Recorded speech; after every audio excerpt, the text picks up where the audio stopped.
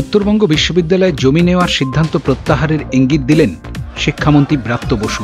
এদিন বিশ্ববিদ্যালয়ে এসে ক্ষোভের মুখে পড়েন ব্রাত্য বসু। পরে তিনি জানান, উত্তরবঙ্গ বিশ্ববিদ্যালয়ের জমি পর্যটন দপ্তর নিচ্ছে না।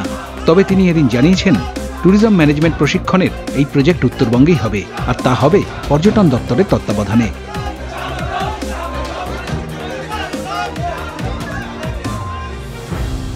এখন অবধি আমার কাছে যে খবর উত্তরবঙ্গ বিশ্ববিদ্যালয়ে জমি নেওয়া হচ্ছেই না।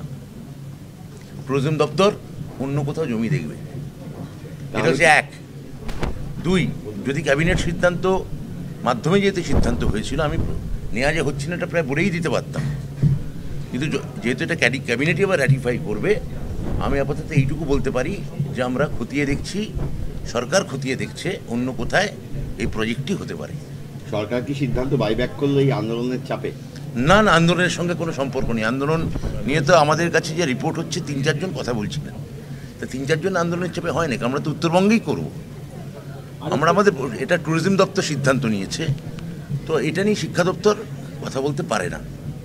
এটা ট্যুরিজম দপ্তরের সিদ্ধান্ত। সরকারের এই সিদ্ধান্তের প্রেক্ষিতে সন্তোষ প্রকাশ করলেও আন্দোলনকারীদের দাবি বিশ্ববিদ্যালয়ের কার্যকরী সমিতির বৈঠক ডেকে আগের নেওয়া সিদ্ধান্ত প্রত্যাহার করতে হবে। যেটা বিশ্ববিদ্যালয় কর্তৃপক্ষ নিয়েছে কর্মসমিতিতে সেই সিদ্ধান্ত প্রত্যাহার করতে হবে আর কোনোদিন যাতে এরকম বিশ্ববিদ্যালয়ের জমি হস্তান্তরের কোনো প্রক্রিয়া বিশ্ববিদ্যালয় না চালায় সেই বিষয়ে আমাদের সিউরিটি দিতে হবে। আন্দোলন হয়ে আন্দোলন জয়ের কোনো বিষ- বিষয় নেই কারণ আমরা জানি যে এই আন্দোলন আমরা ন্যায়সঙ্গতভাবে করছি আইন মাফিক করছি। আমাদের বিশ্ববিদ্যালয়ের কর্তৃ- কর্তৃপক্ষকে আমাদের কথা শুনতে বাধ্য হতেই হবে কোনো না কোনো দিন। আজকে আমরা নৈতিকভাবে জয় হলি হলাম কিনা জয়ী হলাম কিনা আমরা জানি না। কারণ কর্তৃপক্ষের কাছ থেকে আমরা এখনও পর্যন্ত কিছু শুনিনি। মাননীয় মন্ত্রী মহোদয় আমাদের বলেছিলেন যে এখানে এসে উনি জানাবেন কিন্তু এখনও জানাননি। সংবাদ মাধ্যমে জানলে আমরা আমাদের মানে আপনাদের মারফতে আমরা জানতে পারলাম। আমাদের আমাদের আমাদের ওরা যদি লিখিতভাবে জানান কিছু তখন আমাদের আন্দোলন প্রত্যাহার করব। তার আগে তো নয়। এদিন দুপুরে উত্তরবঙ্গ বিশ্ববিদ্যালয়ে আসেন শিক্ষামন্ত্রী। বিশ্ববিদ্যালয়ের কনফারেন্স হলে মিটিংয়ের পর ডিজিটাল লাইব্রেরির উদ্বোধন করেন তিনি। উপস্থিত ছিলেন উপাচার্য ওমপ্রকাশ মিশ্র সহ বিশ্ববিদ্যালয়ের অন্যান্য আধিকারিকরা। সেই সঙ্গে এদিন বিকল্প কর্মসংস্থান নিয়ে উত্তরবঙ্গ বিশ্ববিদ্যালয়ের একটি কর্মশালাও আয়োজিত হয়। সেখানে মন্ত্রী, উপাচার্য সহ অন্যরা উপস্থিত ছিলেন। এদিকে উত্তরবঙ্গ বিশ্ববিদ্যালয়ের জমি ঘুরপথে বেসরকারি হাতে তুলে দেওয়া হচ্ছে বলে অভিযোগ করে বেশ কিছুদিন ধরেই সেখানে আন্দোলন চলছে। অভিযোগ মোট পাঁচ একর জমি বেসরকারি হাতে তুলে দেওয়া হবে, যার বর্তমান বাজার মূল্য প্রায় দুশো কোটি টাকা। এরপর সেখানে পাঁচতারা হোটেল করা হবে, এমন দাবি করে দীর্ঘদিন ধরে আন্দোলন চালিয়ে আসছেন পড়ুয়া ও অধ্যাপকদের একাংশ।